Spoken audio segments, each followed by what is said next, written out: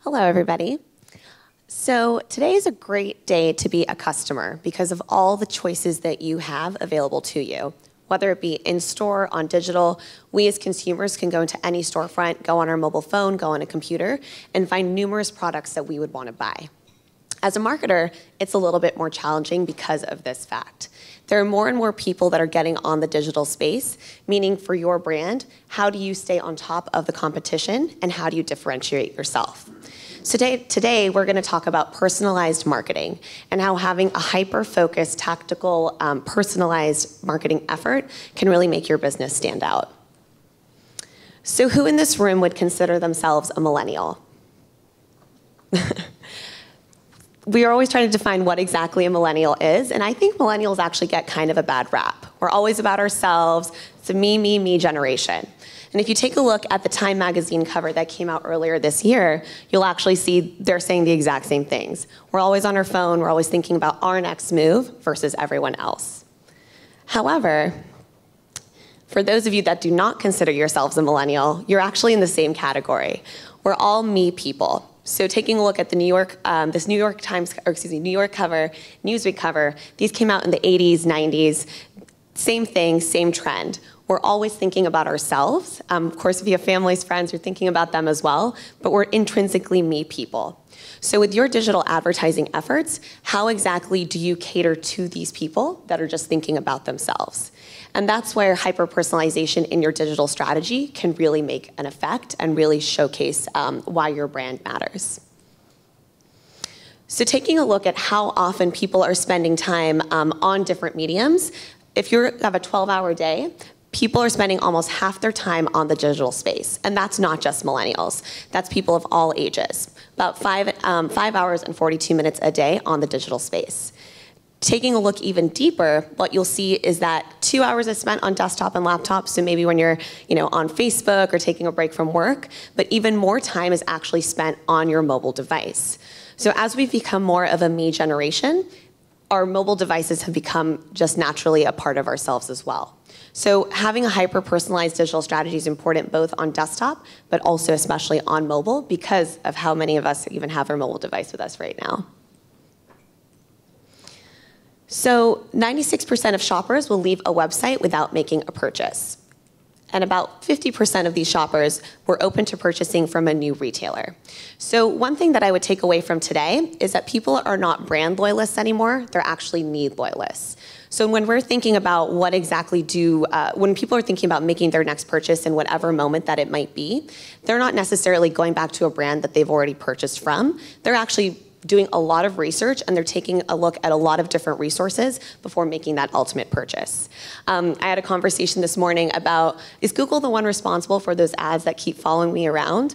In some part, yes, um, but it's because of this first statistics of 96% of people will leave your website without making a purchase. As Regina alluded to, Q4 busy holiday season, people are looking at multiple resources, and so having a hyper-personalized strategy can effectively make you at the top of those choice sets. Personalization benefits you. So some of the biggest brands who in their vertical were experiencing a dip in sales actually took a personalized marketing approach. So Coca-Cola, the Share a Coke with Friends um, branding effort, you've probably seen it. Um, you could get your name on a Coca-Cola bottle, bottle. And many consumers said it was really cool to see their name alongside one of the biggest name, uh, biggest um, brands in the world. And then EA Sports. Um, so the GIF, GIFerator or GIFerator, however you want to say it, um, you can write your own line. So EA Sports also took a hyper-personalized tactic where you could implement your own phraseology alongside your NFL team. And then for Burberry, Burberry Kisses, another very, very big name brand that also subscribed to a personalized tactic as a new way of strategizing to bring customers through the door. What was interesting is with all three of them, all three of them saw an increase either in sales or engagement. And these are huge brands. They're not, you know, mom and pop shops. They're not, you know, we all know these three brands. All three of them experienced some sort of positive interaction because of their personalized strategy. And this was in a time, as mentioned before, where all three of them in their verticals, or just generally the vertical itself, were experiencing a dip in sales. So if these brands can do it and are seeing personalization benefit their bottom line, it's definitely something you should start to think about with your digital strategy in 2017. And Google might be a little bit to blame. Google um, and search is the original personalization engine. So pretty novel idea when you could put in a query or whatever it might be into a, your desktop and out would populate these searches that are very hyper personalized to what you were looking for. And another way to think about personalization is relevancy. So with Google search results, people got used to the fact that I can put in whatever search I need and I'm going to see results that actually matter to me. And this kind of, um, I think, led to a very hyper personalized digital um, marketing play on Google AdWords. So as we mentioned before, our mobile phones are becoming more and more embedded in who we are because we just have them all the time. I'm always running to a meeting and I only really need my nap laptop, but I also have my mobile device right on top of it just in case. So 87% of smartphone users turn to search first, turn to search first in a moment of need. So we have a narrative at Google called micro moments. It might be known as a variety of other things to you. Um, but essentially what it says is that every moment you could be doing a search based on a need, a want, just a question you have. And you essentially want your name brand, if that search matters to you, to be on top of that mobile device. 61% of smartphone users say they're more likely to buy from companies who customize mobile information to their location. So we saw earlier near me searches have increased. Um, just general searches um, on mobile have surpassed desktop in a few verticals. And having very customized content on that mobile device really speaks to your audience. Because of all the abilities you have as a digital, digital marketer to be tactful and to be hyper personalized, more and more people are looking for that when they're doing their searches, they're looking at things. So it's something to keep in mind as you think about your digital strategy as well. As we mentioned, personalization equals relevancy. So just taking a look at the Google SERP, what you'll see is we try to be as personalized as well. And that's why I think Google is definitely one of the, you know, it is the number one search engine being used around the world. Looking at Bank of America, I might just be looking for, you know, some information about opening a credit card. But what Google is providing me here is they're providing me a bunch of different options so I can go to a very specific page based on my search. I can also go find a location on the map of where the closest B of A's are, so I can instantly even just go into a teller and talk to them.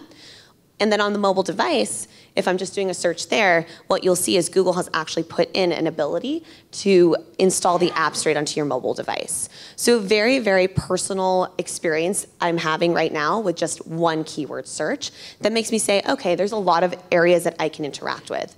For Bank of America, great work on their part. And um, you know if they're doing their digital advertising right it really just shows that they can take up so much space on that google page.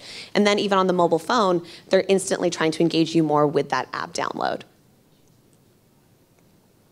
73% of consumers say that regularly getting useful information from an advertiser is the most important attribute when selecting a brand. So while we are focused in the moment and owning those micro moments for terms and um, you know queries that matter to your business are important, it's also important to think of this as a long tail strategy.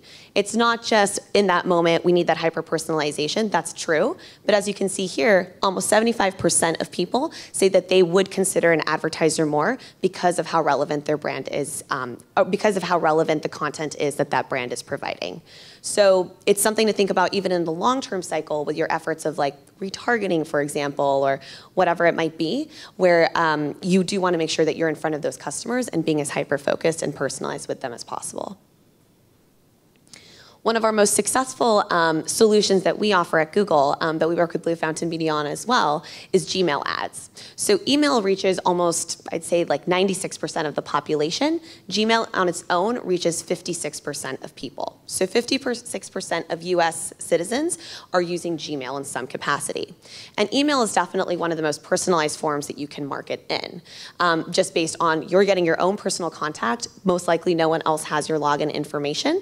And so um, having some really personal tactical advertising within this hub really can showcase um, and really can speak to your customer on a very personal level.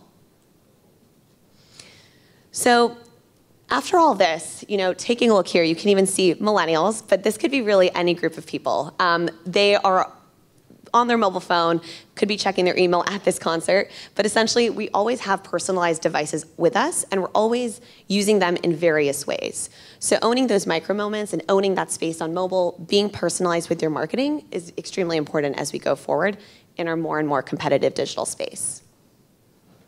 So key takeaways.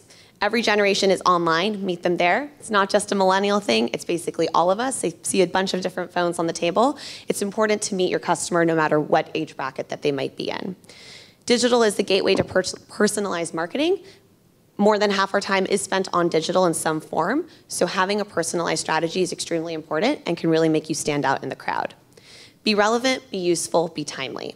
So make sure your content is consistently fresh. Make sure you're considering, okay, what would this customer like to see as they're engaging with us on the digital space? And it can really set you apart from your competitors. And that is it.